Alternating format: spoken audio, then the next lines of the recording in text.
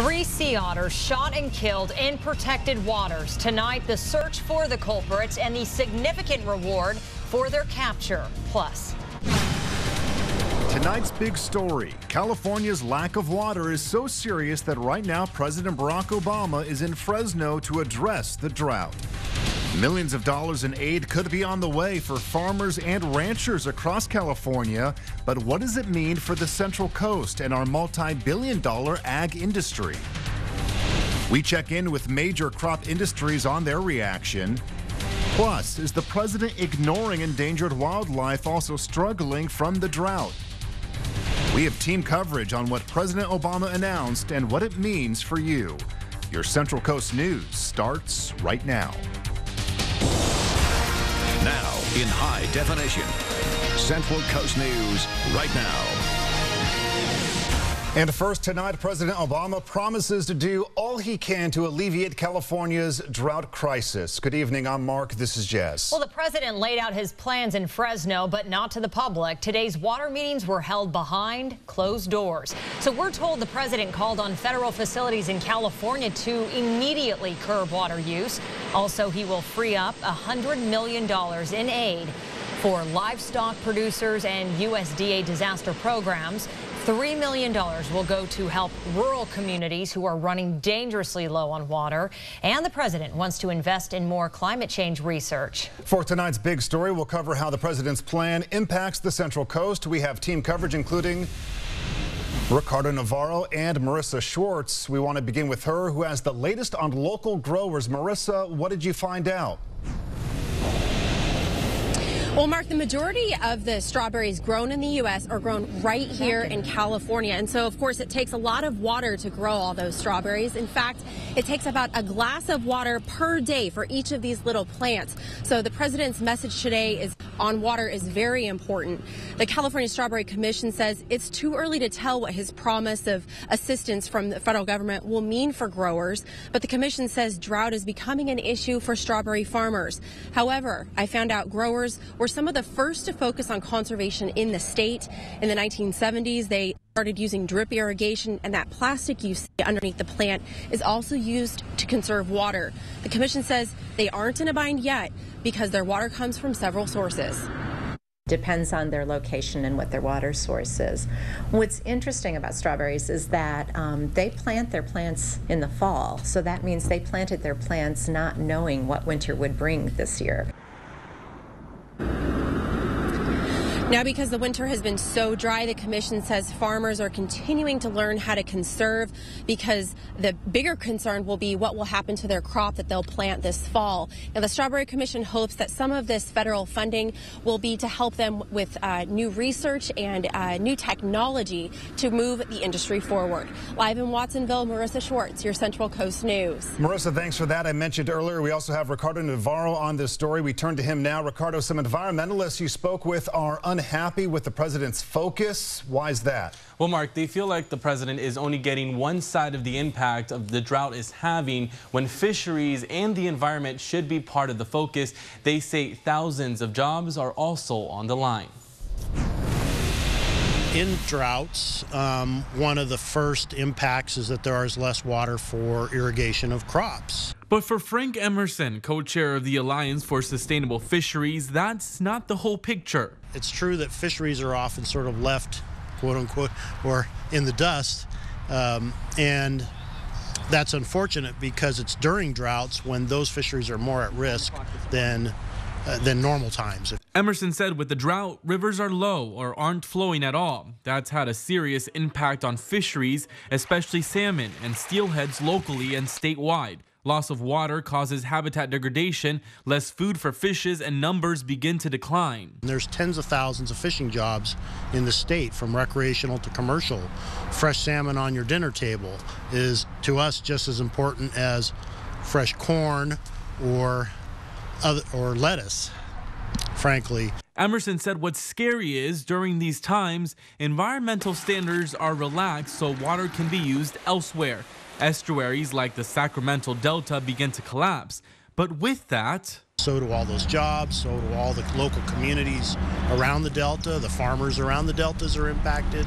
So it's not only just a small subset of, of, of our community, it's a broad community. Fishermen and environmentalists hope that just like farmers will get aid, they hope aid also goes to them to keep the habitats healthy so wildlife stays thriving but also keeps commercial fishing jobs around. In the newsroom, Ricardo Navarro, your Central Coast News. Ricardo, thanks for that. We do want to fast forward here to Central Coast News at 6 p.m. tonight as our drought coverage continues. One Central Coast water district is hoping some federal funding heads its way as its groundwater basins are bone dry. Again, that's tonight on the news at 6 o'clock. And this just coming into Central Coast News. President Obama speaking right now in Southern California. Let's take a listen. I send to Congress next month will include $1 billion in new funding for new technologies to help communities prepare for a changing climate, set up uh, incentives to build smarter, more resilient infrastructure, and finally, my administration will work with tech innovators and launched new challenges under our climate data initiative focused initially on rising sea levels and their impacts on the coast, but ultimately focused on how all these changes in weather patterns uh, are going to have an impact uh, up and down uh, the the United States, not just on the coast, but inland as well. And how do we start preparing for that? And that has to be work that we do together. This cannot be a, bi, uh, a, a, partisan uh, uh, endeavor. You know, one of the great things about that town hall that I just came out of, not everybody agreed on anything, um, except people did agree that we can't keep on doing business as usual. That's what people did understand, that there has to be a sense of urgency about this. And issues like the federal government helping states to build infrastructure, to adapt and ensure economic development, and that families and workers are able to prosper. There's nothing new about that. We just saw a, a photograph of President Kennedy and uh, current Governor Brown's dad building some of the aquifers that have been so important to uh, the economy of the state for decades. If we were able to do that then, we should be able to do it now. It's just a matter of us making sure that we're not putting politics ahead of trying to get things working. Uh, our work with Governor Brown uh, and his administration is going to continue.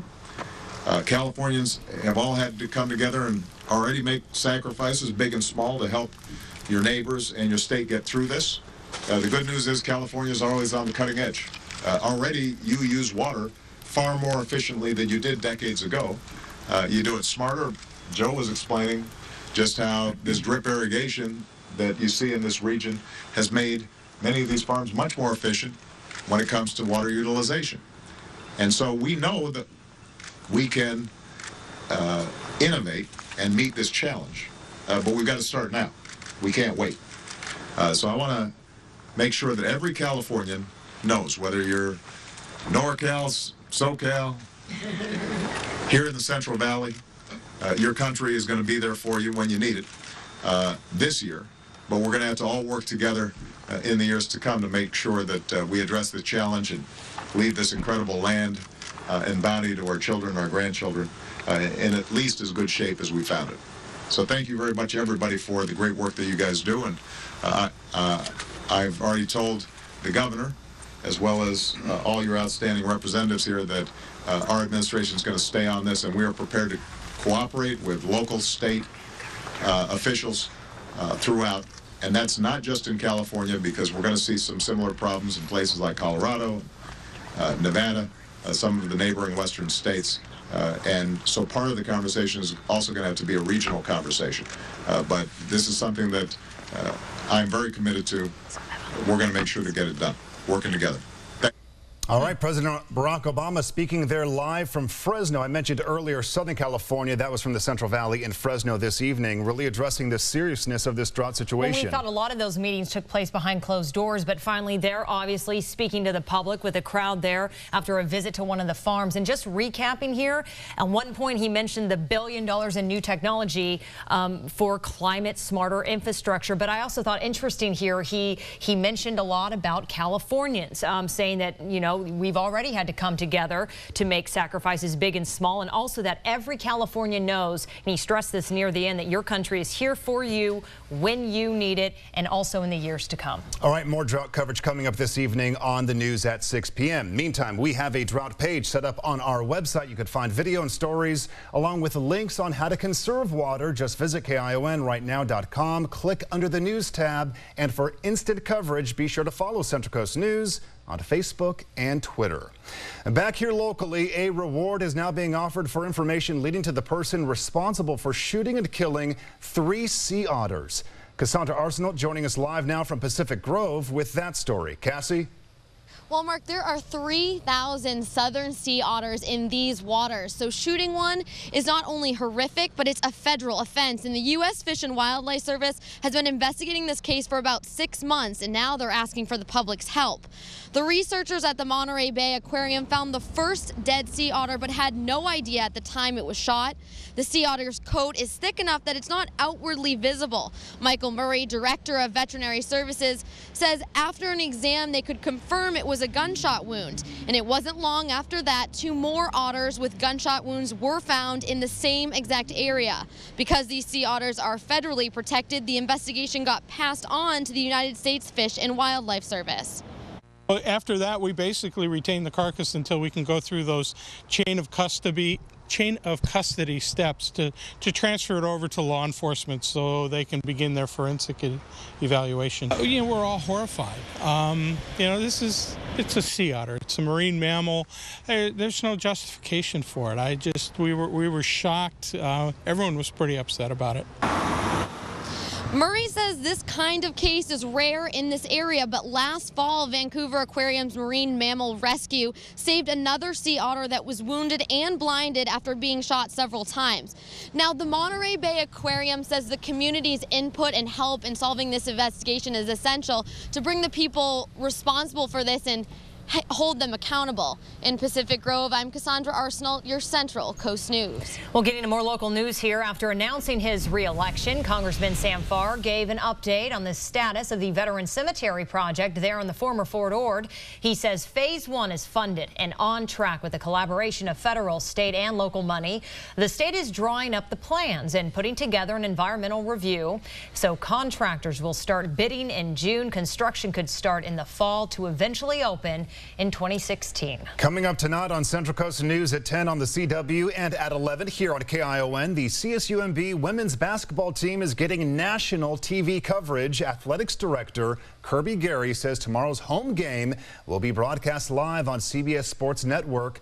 That channel reaching 99 million homes, and he says it's their first ever TV game. A big deal here for this Division II school. The production crew is rolling in this evening, and we'll have a look at how the campus is getting hyped up as the crews set up shop in Marina. Still to come here on Central Coast News. Cleanup begins after a massive storm slammed the East Coast. So is the worst behind them. Also blame the weather for this mess. Quite the pileup in Pennsylvania. This is Central Coast News, now in high definition.